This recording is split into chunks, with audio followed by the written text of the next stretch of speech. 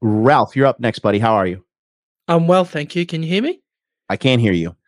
Fantastic. So, my question I've been doing like self hypnosis and now I'm more comfortable being social.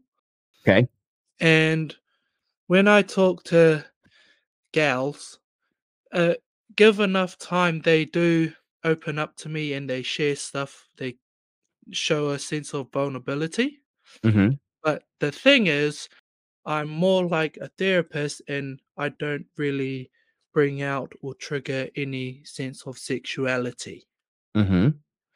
Yeah, and that's probably something I like to work on in terms of approaching or talking, spending time with women in general.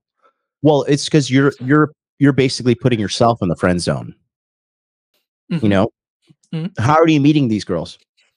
I just walking here, there, everywhere, like in town. Like I'm go do some errands and I say hi. Mm-hmm. Yeah. There's a couple things. Um, one, you want to go ahead and and try to like not be.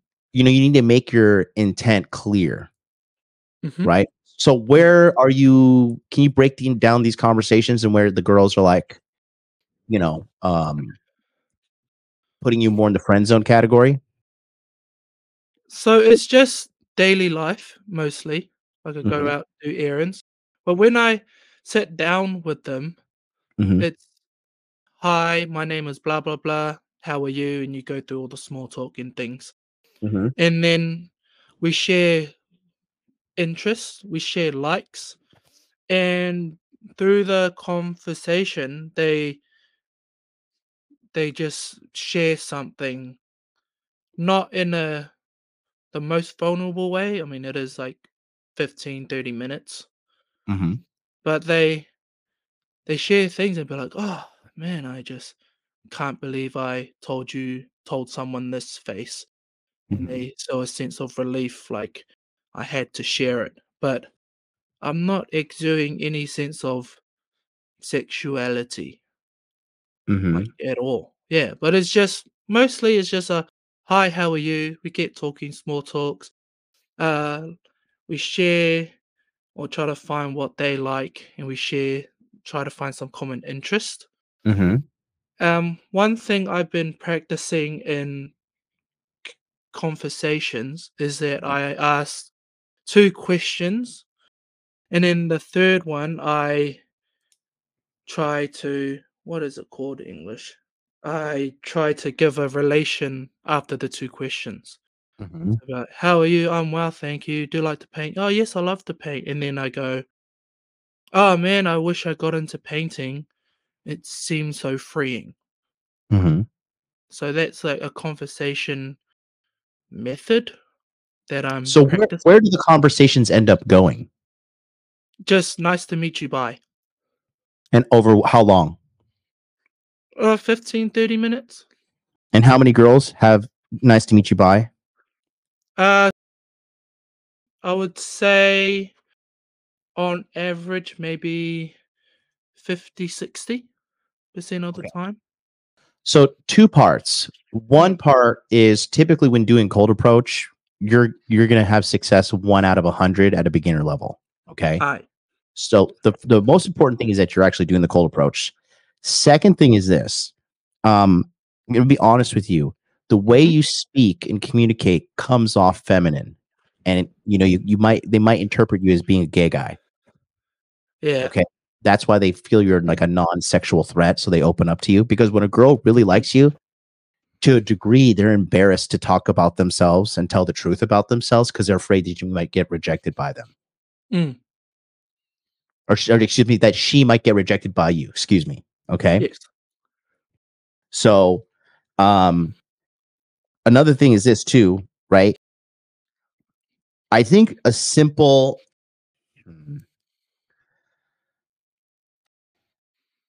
I think a simple way for you to filter these out. This is this is more of a beginner technique, but when you're having a conversation with them, you know, kind of bring it up if they have a boyfriend or not, but in a casual way.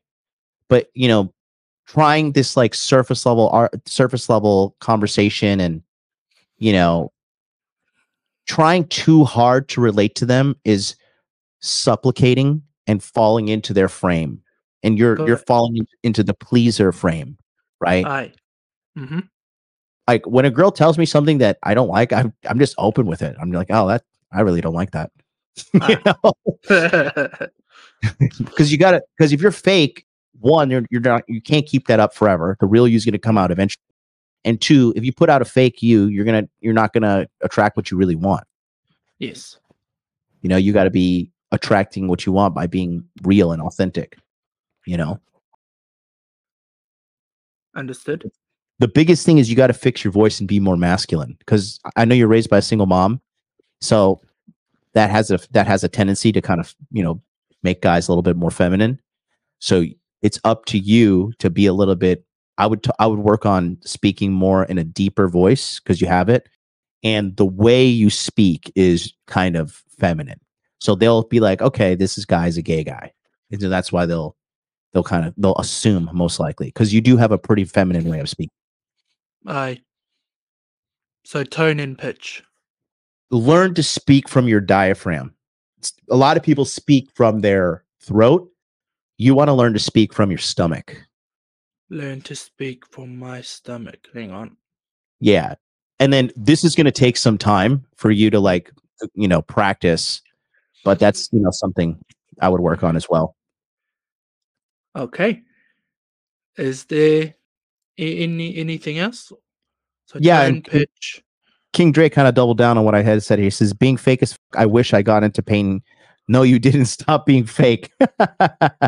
That, that was just a hypothetical. I'm not so sure on like the name of the technique, but it's yeah, trying but to still, cause don't, don't be, don't be fake because they're women are smart. They'll pick up on it. Aye. You know, they ain't no dummies. Mm-hmm. Um, that's basically it. But listen, props to you for making the cold approach and getting them to sit down. That's half the battle. But again, a simple a simple technique. This is this is to get you through the beginner level. When you get more advanced, there's ways to do this. But I would bring it up in the conversation, ask if they have a boyfriend or not. You know, relatively soon. That way, you could just make your intent known. But yeah, because the thing is, you're being like, you know, you're you're being manipulative to a degree. You're like Mm. you're you are sexually interested, but you're pretending you're not, and women hate that. Shit. You're being a nice guy, basically. And how do how do you do sexuality? Just be open with the sexuality. Mm, no, not really, but you know, it's just how you communicate. So, to a degree, Shut up and take my money. uh, to a degree, it's how you dress, it's how you talk, Mm-hmm. it's how you carry yourself, right? Right. You got to dress and look like a guy who is out here to get some girls. You know, Mm-hmm. you have to have you have to have you have to sexualize the way you look to a degree. You know, Uh-huh. you have to have an edge. But if you don't, if you look like an innocent little schoolboy and you talk the way you talk, then women are going to just be like, "Oh, this is just a nice friend." I understand. I understand. Yeah, I I get it. Mhm. It's um. Yeah, it, it, it's it's uh That's funny. King Dre is literally saying the exact same thing I just said. Either fix his voice or make his appearance way more edgy. Yeah, you see, like when when women see me, like uh, there's this girl I dated, and she was talking about me to one of her girlfriends, right? And it was a text message they had between the two of them, and she was like, "I'm dating this. I went out with this Danish guy, but I didn't even know." If he liked me or not, it was kind of like friend zone vibe. And she was like, "What about?" Her friend was like, "What about Jonathan?" She's like, "I felt the sexual tension as soon as he sat down." you Mm. know? and then I slept with her on the first date, you know? So you got to just let them know, like, I am not here to be your friend. I, I do not want friends. I have friends. I am here because I am interested in you in a romantic way. Yes. Okay. All right, I'll go. I'll go work on it. Like with with with the voice thing. Mm-hmm. Like I I, I know like naturally when I just talk, it is a lot higher and a lot softer, Mhm. and to be able to lack of words to compensate or to combat like Mhm. it, because, because like 'Cause I I hear hear it myself, and it's it's just so high, and it's it's just mm-hmm. Yeah, because 'cause I want to be the person where I I just exude like, "Yep, that dude." Mhm. Yeah. Hmm. It's just gonna take time. Aight. You're making progress, you know? Thank you. You're doing a good job.